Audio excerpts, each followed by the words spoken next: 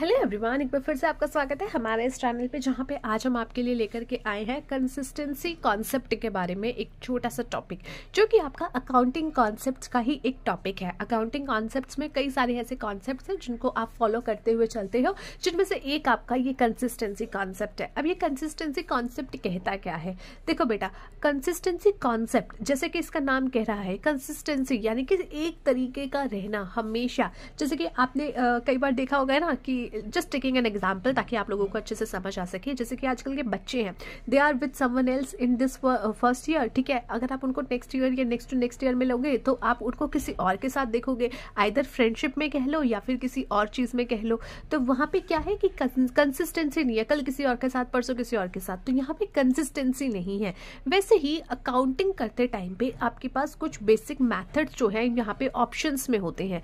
जैसे अगर आप डेप्रिसिएशन चार्ज करने जाओगे तो आपके पास नॉर्मली दो मेथड है straight line method and written down value method अब ये दो मेथड आपके पास है।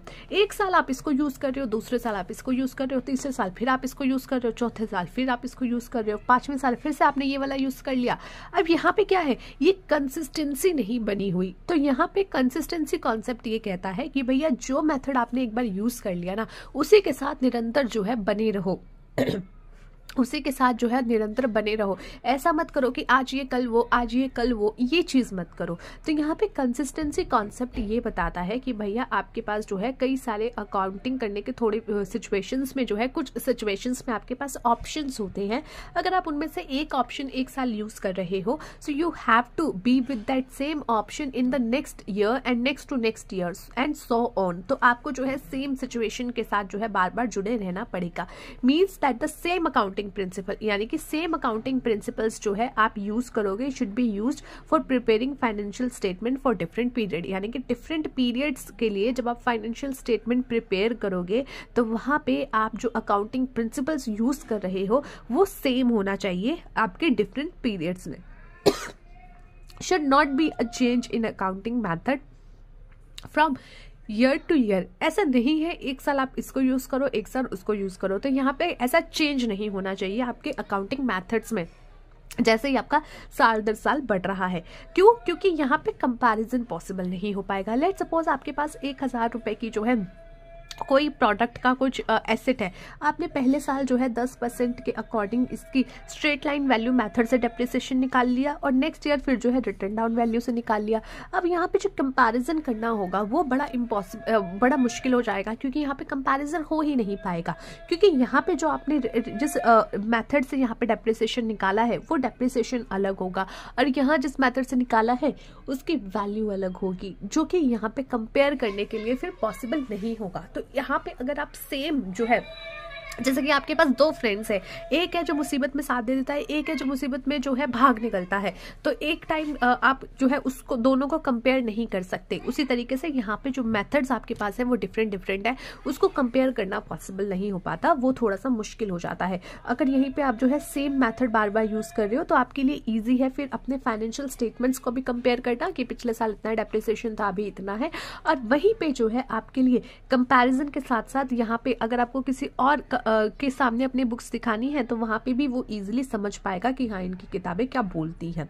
ठीक है एग्ज़ाम्पल के तौर पे यहाँ पे डेप्रिसिएशन है। अगर आपका फिक्स्ड एसेट पे वो आपने प्रोवाइड किया है स्ट्रेट लाइन बेसिस पे तो वहाँ पे वही कंसिस्टेंसी आपको जो है कॉन्स्टेंटली आपको वही यूज़ करना है फॉर ईयर्स आफ्टर कंसिस्टेंसी जो है आपकी पर्सनल बाइसनेस को एलिमिनेट कर देती है। लेट सपोज़ इस बार जो है आपने uh, पहले आपने स्ट्रेट लाइन मेथड से अपना डेप्रिसिएशन कैलकुलेट किया था तो उसका आया था 500 ठीक है? और वहीं पे अब आप क्या कर रहे हो? आप देख रहे हो, यार रिटर्न डाउन वैल्यू मेथड से ज़्यादा आ रहा है या कम आ रहा है, जो भी सिचुएशन आ रही है। अब आपको पता है कि ये वाला मैं यूज़ करूँगा तो मेरे लिए फेवरेबल ये होगा, क्योंकि ये मेरे खर्चे बढ़ा देगा और कल को मेरा प्रॉफिट कम हो जाएगा और उसकी वजह से मुझे टैक्स कम देना पड़ेगा। तो यहाँ पे जो आपकी कंसिस्टेंसी मेंटेन रहेगी तो इससे आपकी पर्सनल बाइसनेस जो है या फिर आपका जो पर्सनल एजेंडा है या उसमें आपका जो भी अपना बेनिफिट देख रहे हो, वो कहीं ना कहीं एलिमिनेट हो जाएगा, जो कि एक अच्छी चीज़ है। क्योंकि जब आप अकाउंट्स प्रिपेयर करते हो तो आपको अपने पर्सनल बाइसनेस को साइड में रखना पड़ता है और यहाँ पे कंपेरेबल रिज़ल्ट आपको मिलते हैं। तो यहाँ पे कंसिस्टेंसी अगर है तो वो एलिमिनेट कर देगी पर्सनल बाइसनेस को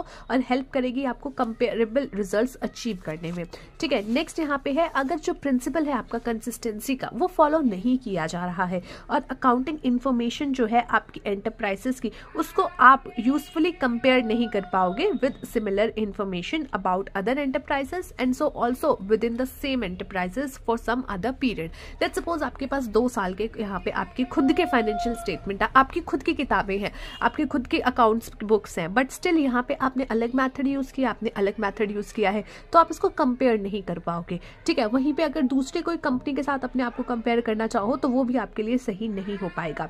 It does not profit change अब यहाँ पे जो है आपको कंसिस्टेंसी बना करके तो रखनी है पर इसका मतलब ये नहीं है कि आप चेंज नहीं कर सकते। कंसिस्टेंसी आप किसी के साथ हो कंसिस्टेंसी में हो छह साल सात साल आठ साल बट अगर वो पर्सन टॉक्सिक है तो आपको तो छोड़ना पड़ेगा ना। आपका दोस्त भले ही आप, आप, आप उसके साथ चड्डी बड्डी है आपका बचपन से साथ है बट वो एंड टाइम पे जब ज़रूरत पड़ती है तो दुम दबा के भाग जाता है तो ऑब्वियसली आपको उसको टाटा बाय बाय बोलना पड़ेगा।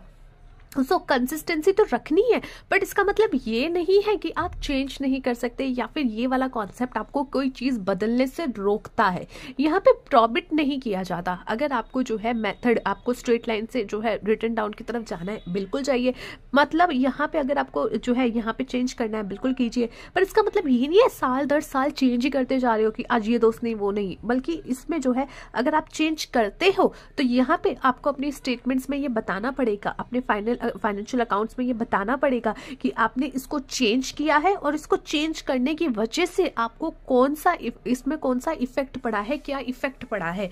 जो चीज़ आपके अकाउंट्स में जो है इफ़ेक्ट डाली है या फिर क्या इफ़ेक्ट यहाँ पे इसने प्रॉफिट या लॉस पर डाला है तो वो चीज़ आपको वहाँ पे डिस्क्लोज करनी पड़ेगी। तो it does not profit changes changes profit नहीं किए जाते चेंजेस प्रॉबिट नहीं होते हैं जबकि आप यहाँ पे जो है डिजायरेबल चेंज है, एक चेंज जो डिजायरेबल है, जिसको किया जाना चाहिए, ज़रूरी है, और यहाँ पे आप उस चेंज को बताएँगे एंड उसके इफ़ेक्ट को जो है क्लियरली आप स्टेटेड करेंगे आपके फाइनेंशियल अकाउंट्स में okay I hope this is clear to you all guys. Now, let's see you in the next video. Till then, take care of yourself and take care of.